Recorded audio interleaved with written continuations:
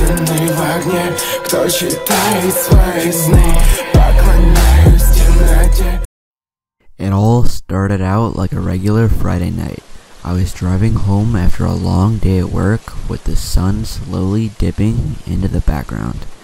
Long shadows stretched over the open road as I pulled my old truck into my driveway.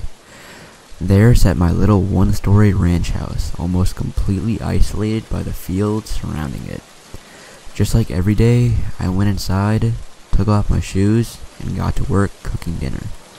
Of course, being the five-star chef that I am, I decided on a ham and cheese sandwich. Gordon Ramsay would be proud. What can I say? It was late and I was tired. So I sat down on my alarmingly dirty couch and switched on the local news, detailing all the mundane happenings of the middle of nowhere USA. The reporter stood in front of a green screen pointing at the week's forecast when suddenly my TV screen went black. The familiar monotone beep of a severe weather alert blared through my speakers as I sighed. Typical, it was probably just a wind warning, or so I thought.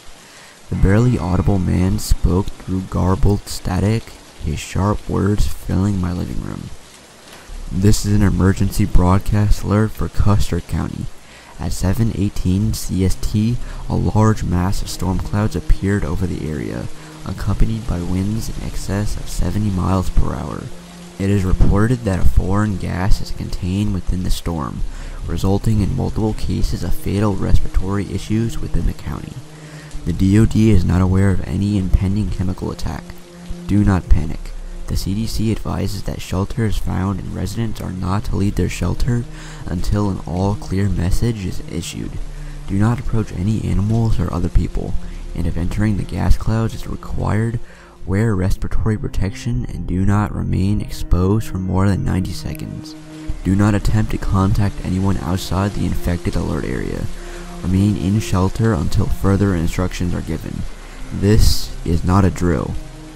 The hairs on the back of my neck stood up. This wasn't a weather alert. No. This was a warning of a disaster. I rushed over to my large front window where I looked out to the rapidly darkening sunset. Sure enough, large black clouds were rushing to fill the sky at an alarming rate. I could already feel the strengthening winds push up against the side of my house. It wouldn't be long until whatever this was was right on top of me. Normally, when I'm sort of in a situation like this, I would usually stay in my storm shelter out back. But as it turns out, that shelter was built near a natural well and so there was currently a flooding problem that still hadn't been fixed. Admittedly, I was very freaked out at this point because although the thought of high winds wasn't all that unusual, the idea of a foreign gas made me uneasy. Unfortunately, I had no real way to protect myself, so I simply hunkered down and prepared for the worst. This wasn't my first storm. Within about 20 minutes, the winds were whipping around outside, pressing in my windows and whistling incessantly. At the 40 minute mark, I could hear debris flying around outside as I tried to quietly read a book. The sounds of rocks and other objects flying around made an almost rhythmic drumming, almost like the sounds of rain. However, my relative peacefulness was interrupted by the sound of a loud bang against the window next to me, causing me to jump. I carefully moved over to the window, primarily to make sure it wasn't cracked. Outside, laying on the dusty ground below the window, was the body of a crow. It had flown directly into my window. This was strange, but at the same time not impossibly so, as the bird could have possibly been pushed into the window by the strong winds.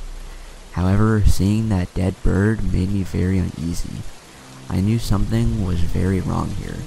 Resigning myself to cleaning up a dead bird later, I sat back down on my couch. Bang! Another loud one. And then another. I looked out again, and to my horror, more crows lay dead around my house. As I peered out the window and into the deep dusk, another bird flew right into my face, rattling the window with great force. That one left a small chip in the glass. Within seconds, more birds descended on my windows in rapid fire. So many of them flew into my windows that the sound was deafening. I ran back through my house to find the only room with just one small window in it, the bathroom. I ducked next to the sink as bird after bird rammed itself into my house, leaving bloody marks and small cracks. The birds were shrieking right before impact, wailing like ghouls in the night, my ears filled with terrible noises. I covered my ears and closed my eyes to block it all out. I sat there in that corner for what felt like hours. In truth, I have no idea how long it was. But when I finally uncovered my ears, I was again met with only the sound of whistling wind. I cautiously walked back out into the main area of my house, carefully checking for any of this foreign gas I had heard about. Luckily, all of the windows remained intact, though with major structural damage. Though it was hard to see outside, I could see the bodies of hundreds upon hundreds of birds surrounding my house sitting in piles and scattered about. It didn't make any sense. None of it did. The wind was just starting to die down as the darkness outside thickened. I was hoping that whatever it was would be passing soon, but no all clear message had been ordered yet. And to make matters worse, as I looked out my windows, I could see a thick, white blanket of what I hoped to be fog rolling into the area. It quickly descended upon my little block, engulfing the street before quickly moving over to the front of the house. The fog swirled and clung to my windows, creating a thin layer of condensation on the inside of the glass. I backed away from the window slowly, worried that this might be the poisonous gas that the broadcast had warned about. I had no respirator and no masks of any kind. I couldn't risk being exposed.